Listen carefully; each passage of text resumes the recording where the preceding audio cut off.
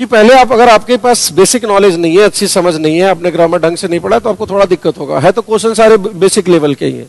अच्छे लेवल के जो क्वेश्चन होते हैं एग्जामिनेशन लेवल के, वो कि मैं अपनी अलग किताब से बनवाता हूँ तो वो किताब जो है वो ये वाली है ना? इस किताब को ज़रूर बनाएँ, ऐप पर इसका पूरा वो कोर्स आ रहा है। तो आप इजी इंग्लिश ऐप पर चले जाओ और वहाँ से वो कोर्स आप ले सकते हैं। बहुत ही नॉमिनल चार्ज नाम मात्र का रखा गया है। दस हज़ार से ऊपर क्वेश्चन इस कोर्स में हम लोग करने वाले हैं। चैप्टर वाइज है। जैसे प्रनाउन है तो प्रनाउन के डेढ़ दो हज़ार क्वेश्चन है भर्व के तीन हज़ार क्वेश्चन है। मतलब इसको बना लेने के बाद उस पार्टिकुलर एक्सरसाइज का एक भी सवाल नया आपको नहीं मिलने वाला।